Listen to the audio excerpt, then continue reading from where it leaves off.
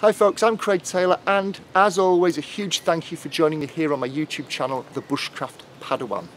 Some time ago now I recorded a very short video giving people an introduction as to how they could get started with map reading. I'll link to that video up here but for those of you that want a reminder, I basically said get a map of your local area, where you live, get out of your front door and walk around the town. Do the school run, take your dog for a walk, go somewhere familiar and friendly and safe and take your map with you and just understand how the map and the land and the land and the map relate to one another. And I got some good feedback on that video, so much so that I thought, why don't I do the same with a compass? And this is the compass that I'm going to be referring to and using during this particular video. Whatever compass you've got, as long as it's been designed for map reading and navigation, will probably be applicable to this video as well. This is a Silva, that's the manufacturer. It's a type 454, that's the model number if you like. You may have a similar compass, you may have a very different compass. It may have a, a, a lid, a housing that, that slides over part of the compass. Your compass may be circular, it may be metal, it may be made by a different manufacturer. Kind of doesn't matter for the purposes of this video to be brutally honest. So grab your compass. If you've not got one, possibly loan one or, maybe even buy a cheap one if, you, if you're serious about this. This is the compass I'm going to be referring to. Other thing worth mentioning when you get start when you start out with, with, with learning about compasses is different people call the same thing on the compass by a different name. What I'm going to try and do in today's video is to not refer to anything specific on this compass. I'm going to describe what I'm talking about and hopefully, although I'm, certain, that will relate to what you're seeing in your on your compass uh, at, at that end of the video when you're watching it. So the only thing I'm really going to refer to today is a, in my example, is a red needle that is in the centre of this circle on the compass. Now my compass, it's one needle, one end of it is red with a luminous dot on the end and the other end is white. And you notice if I move my compass around, you'll see that needle kind of jiggling about. Get your compass, take it, and just move your compass around and watch what happens to that needle. Initially, your compass needle will, will, will drift and it will move and it may spin about or it may wobble about, but eventually and quite quickly, it will settle and it will be pointing in a certain direction. Most people assume that that needle is pointing directly to magnetic north. And it kind of is and it kind of isn't. What your compass is doing is, is it's aligning itself to the magnetic field on the Earth's surface that is heading in the direction of magnetic north. So a little bit of a nerdy navigation fact. It might help you win a pub quiz one day.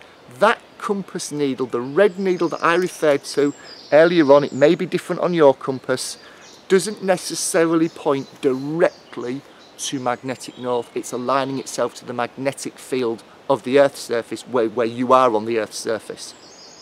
In a nutshell, kind of doesn't matter, to be perfectly honest, from a navigation perspective.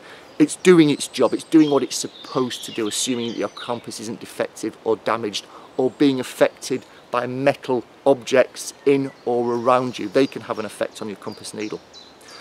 What I'm going to do now is I'm going to look at the direction that that red compass needle is pointing and it's actually pointing directly behind me. So I'm going to take this compass and I'm going to just move my body so that it is facing in the direction that my red needle is facing.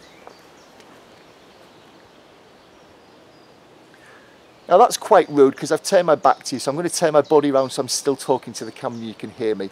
But my body is now aligned with my compass needle and my compass needle is pointing in the direction-ish, forget about the specifics, of magnetic north. So I'm now facing magnetic north. If we think, going back to school, what the directions of the compass are, north, south, east, west, if I look over my right shoulder, I'm now facing approximately east. If I look over my left shoulder, I'm now facing approximately west. And if I turn my body back round again, I am pretty much facing damn on to the camera south. North, south, east and west, according to where I'm standing. And that's what I want you to do. It's as simple as that. grab yourself a compass, go outside, go into your front garden, into your back garden, go into your drive, and just hold your compass, turn your body so that you're facing magnetic north in the direction that that red north pointing needle is facing, maybe different on your compass, and then just realise what's east, west and south in relation to the position that you're facing. Once you've done that, grab that map. You remember the map I mentioned in the first video, the local map of your area? Grab that map and go out for another walk. Don't go too far afield, don't go out into the woods or the hills or the mountains or the bush. Just take a walk around your town or your village or your local dog walk go for a walk, take your map and take this compass and just realise that as you're moving around, you may be moving direction, but your compass needle will still, unless it's been affected by anything around it, will still be facing magnetic north. And just get a feeling for which tracks are heading in a northerly direction, which roads are heading in a, or which direction have you come from a southwesterly direction, or have you come from a southerly direction where your dog normally stops for a pee. The farmhouse, is that north of your position or is it west of your position? Just get a feeling with an area that is familiar and safe and comfortable for you with how the compass works in relation to your map, in relation to the ground around you. Now for those of you that are advanced and seasoned navigators, you've probably got nothing out of this video. Maybe the exception of that north pointing needle is something that, that, that fools most people, might help you win a pub quiz in the future. This video is aimed at the people that are just getting started with map reading and land navigation and I hope that this has been useful to you. If you found it useful, if you think I'm going to go and give that a try, if you thought to yourself, I never knew that about the north pointer needle, feel free to give this video a thumbs up. If there's someone in your network that might benefit from it, please do share it with those as well.